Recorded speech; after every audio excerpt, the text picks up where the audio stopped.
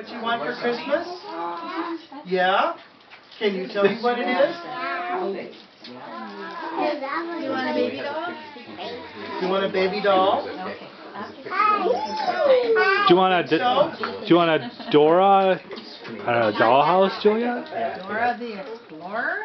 Are you a Dora fan? Oh, I like Dora. Dora's fun, isn't she?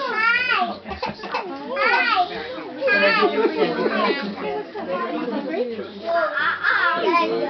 How about a Minnesota Gophers hat? Nix that, she's already got a few of those. uh. Got a few of those. Thank you.